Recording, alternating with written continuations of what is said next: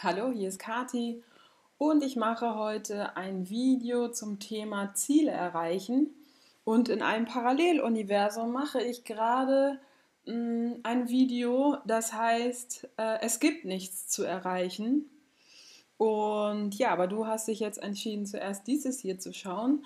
Und ja, deswegen bist du gerade vielleicht an einem Punkt, wo du Tipps haben möchtest, wie du Ziele erreichen kannst.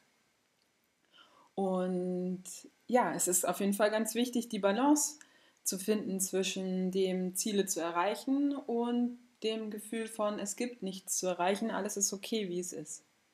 Ja, das war mir erstmal wichtig zu sagen. Und jetzt zu meinen Tipps. Ich habe ähm, eine Zeit lang sehr viel Menschen begleitet, äh, ihre Masterarbeiten, Veröffentlichungen, ähm, Bücher, Artikel oder was auch immer fertigzustellen und, äh, und zwar in einem bestimmten Zeitrahmen. Und da habe ich einige Erfahrungen gemacht, die ähm, wichtig sind, ähm, um wirklich Dinge auch zu tun und fertigzustellen und gewisse Ziele, die man sich setzt, zu erreichen. Das erste ist natürlich ähm, ein Zeitplan. Es ist gut, wenn du ein bestimmtes Ziel hast, dir einen Zeitplan ähm, aufzustellen und zu gucken, okay, du hast jetzt sagen wir mal drei Wochen oder drei Monate und dann äh, das genau einzutakten und da natürlich vorher eine Liste zu machen, was gibt es alles für Teilschritte, um dieses Ziel zu erreichen. Was musst du alles tun, um, äh, um das Ziel oder das Ding, was du machen möchtest, fertigzustellen. Und äh, ja, da machst du dir diese Liste mit diesen ganzen Teilschritten und die Teilschritte haben dann vielleicht Unterschritte, aber erstmal so einen groben Plan und das dann sozusagen einzutakten in den Zeitplan.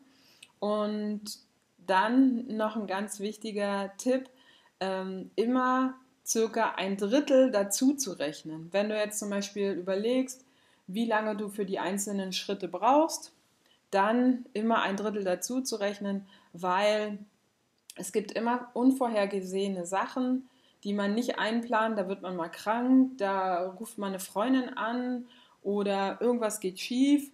Ähm, und da ist es wichtig, dann Reservezeiten einzuplanen. Und man sagt so ungefähr, dass man ein Drittel der Zeit nicht verplanen soll, weil da sowieso irgendwas Unvorhergesehenes passiert. Dann äh, kann es manchmal sein, dass du Schwierigkeiten hast, dich zu motivieren, den nächsten Schritt zu machen. Ähm, bei mir ist es zum Beispiel manchmal, wenn ich Artikel schreibe, ähm, dass ich dann irgendwie ja immer wieder auch gegen so eine Angst kämpfe innerlich, so, oh, was sagen die anderen Leute darüber? Und dann hält mich das so zurück, dass ich irgendwie das nicht mache. Oder jetzt auch bei den Videos ich muss, brauch da, muss mich da immer motivieren, mich zu trauen. So, ne? Und dann gibt es manchmal den inneren Schweinehund, den es zu überwinden gilt. Und da ist es gut, wenn du die Portionen so klein machst, dass du dich überwindest. Also mir hat dann zum Beispiel geholfen, okay, Kati, setz dich wenigstens mal 10 Minuten hin und schreib 10 Minuten irgendwas.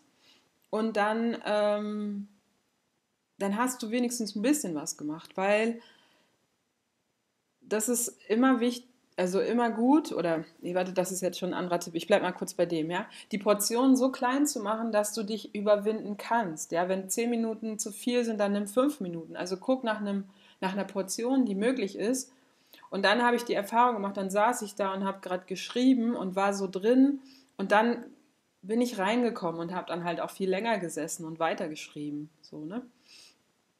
Aber das ist auf jeden Fall ganz wichtig, so kleine Portionen zu machen, zu denen man sich überwinden kann. Und dann ist es halt auch gut, jeden Tag etwas für dieses Ziel zu tun.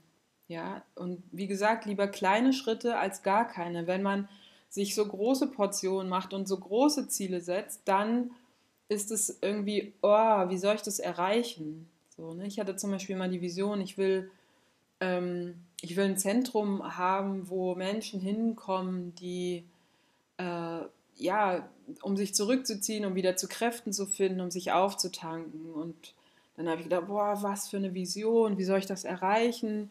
Und dann hat mein damaliger Heilpraktiker gesagt, so, ja, was ist der nächst kleinere Schritt darauf zu? Also mach die Schritte so klein, dass sie möglich sind.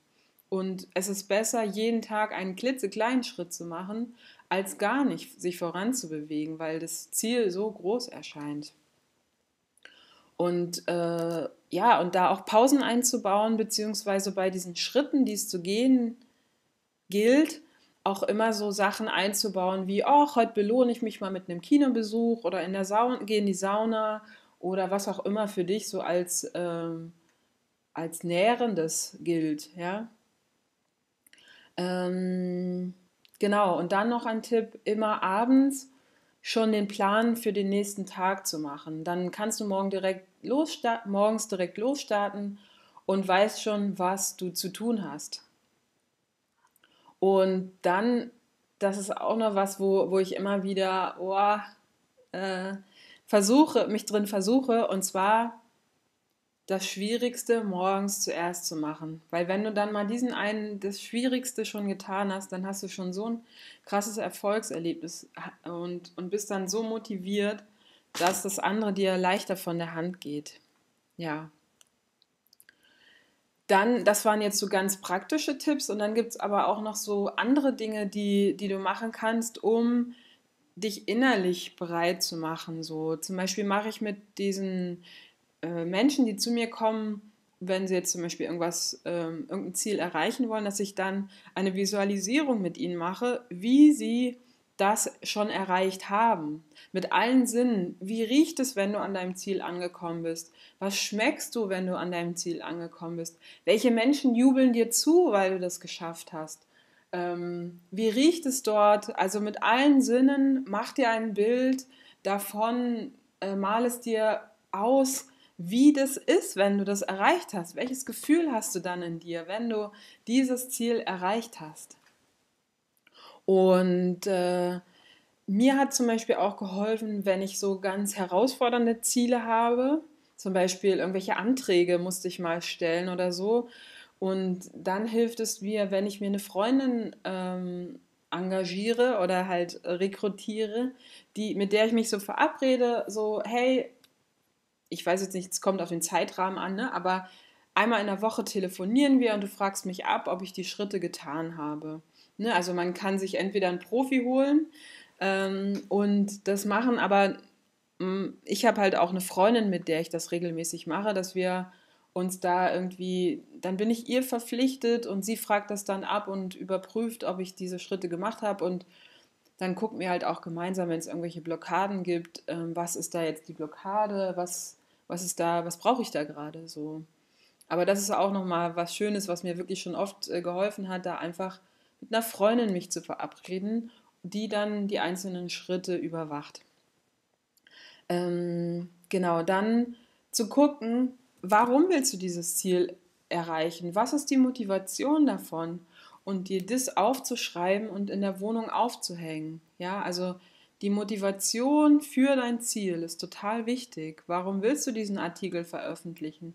Warum willst du dieses Video machen? Warum willst du dieses neue Haus? Warum willst du die Millionen erreichen oder ja, was auch immer? Ähm, schreib die Motivation auf, erforsche da dein, deine Gedanken dahinter und ja, schreib es auf. Und ähm, ja, das, das war es auch schon. Also wie gesagt, äh, wenn es irgendwelche Blockaden gibt, dann hol dir Unterstützung um die zu überwinden, damit du auch wirklich dahin kommst, weil viele Projekte verlaufen im Sande, weil man über bestimmte Hürden nicht hinweggeht. Aber das sind meistens irgendwelche inneren Glaubenssätze oder so, die kann man auf jeden Fall auflösen oder bearbeiten. Genau. Das mache ich ja auch ja, in der Praxis ganz viel mit den Menschen, so sie auf ihren Weg zu begleiten und bestimmte Dinge ihnen zu äh, helfen, zu verwirklichen. Ja. Gut, dann war es das von mir zu dem Thema Ziele erreichen. Und vielleicht hast du Lust, dir jetzt das Video anzugucken. Ähm, es gibt nichts zu erreichen, alles ist gut so, wie es ist.